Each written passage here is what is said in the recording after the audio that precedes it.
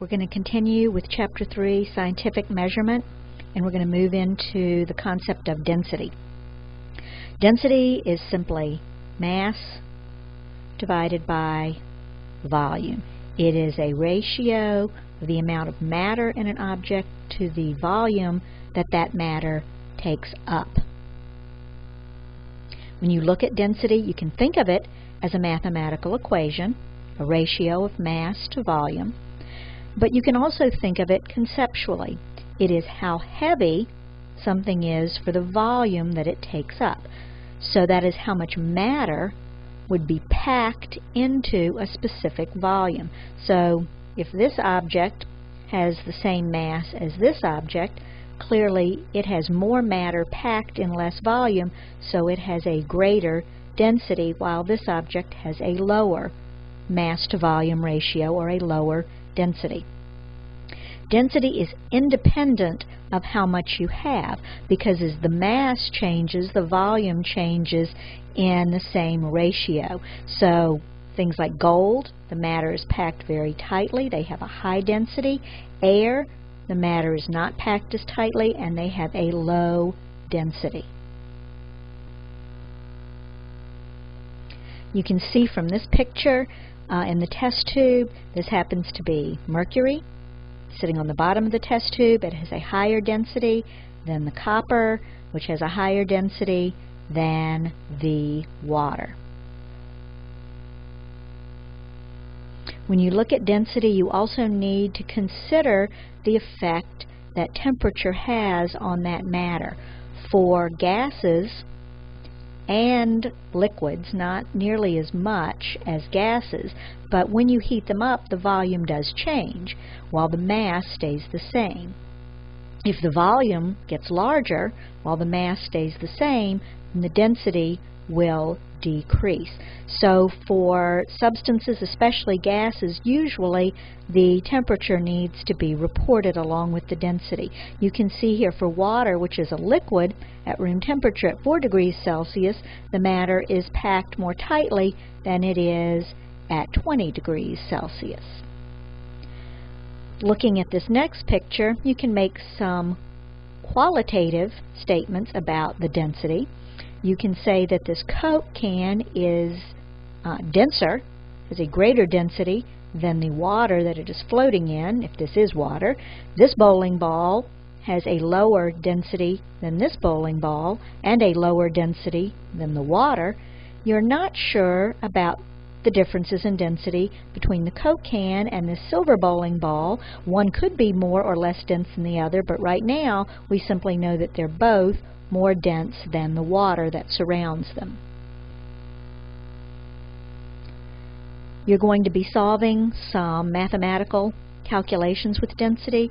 The basic density equation will be manipulated to solve for both volume, excuse me, volume and mass. And again, these are just algebraic manipulations that will allow you to solve for the other variables.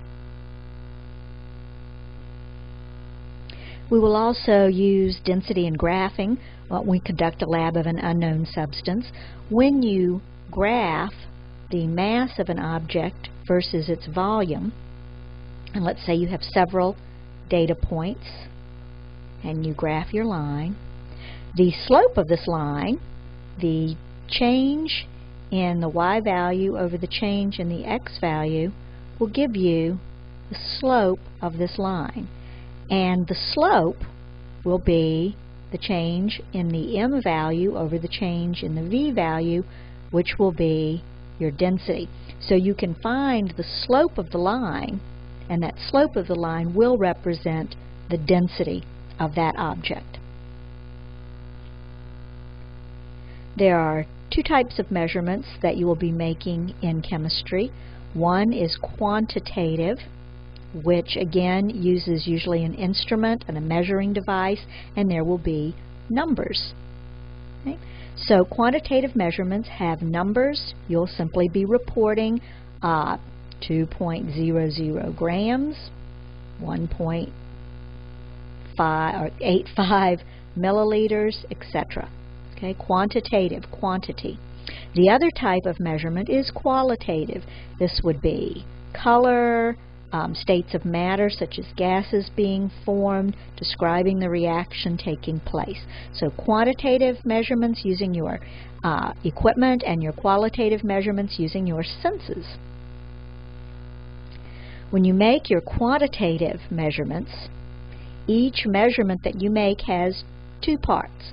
It has a number, 3.00, and it has a unit, grams. We've already discussed both of these parts are necessary for a complete measurement. Simply writing 3 doesn't tell us what we are measuring. Grams tells us that we are measuring mass, so we need to make sure we put a unit. The international system of units is what we'll be using, and here it is based on the metric system. It consists of a prefix which tells you the size of the unit and then the base unit itself. So for example, if I write MS, this is the base unit. That's second. That tells me what I'm measuring. I'm measuring time.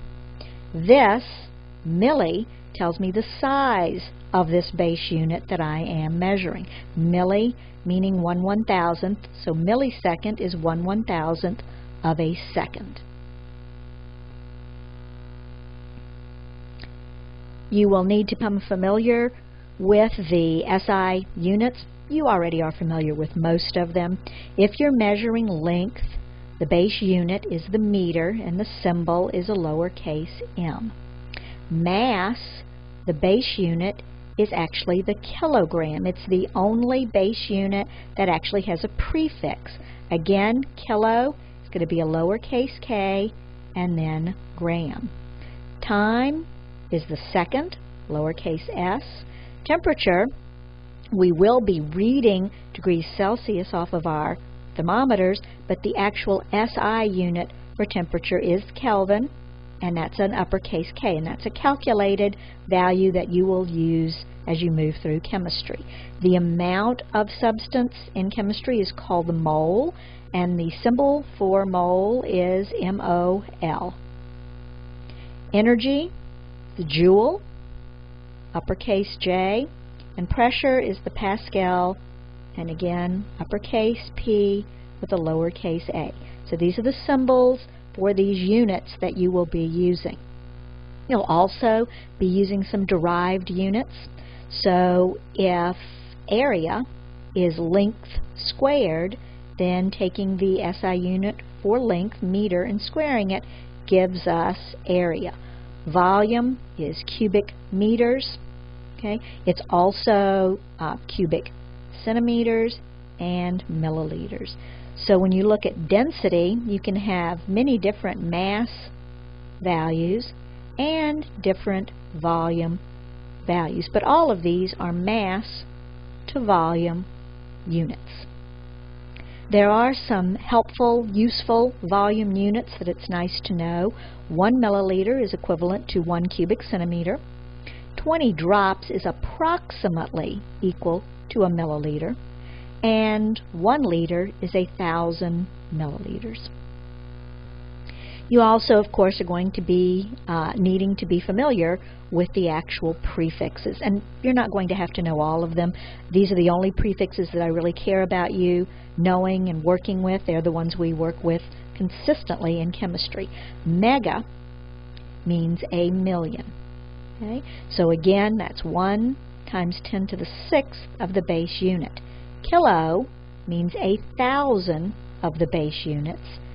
Centi is 1 one hundredth, or 10 to the negative 2 power. Milli is 1 one thousandth, or 10 to the negative 3 power. Micro, which is this little symbol here, the symbol has a name called mu. The symbol sort of looks like a long leg and then a short leg U. Mu means 1 one millionth, so micro Again, a micrometer would be 1 one millionth or 10 to the negative sixth of a meter, and then nano is 1 one billionth. So a nanometer is 10 to the negative 9 meters or 10 to the negative 9 grams or whatever you happen to be measuring. So I guarantee you with time you will be quite familiar with these sizes and prefixes.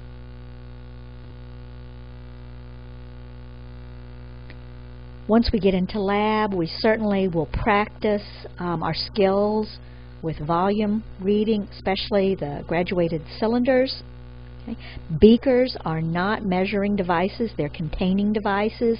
Your Erlenmeyer flasks are not measuring devices, they're containment devices. The only device that you will measure volume with is a graduated cylinder. So we'll work on our skills with graduated cylinders.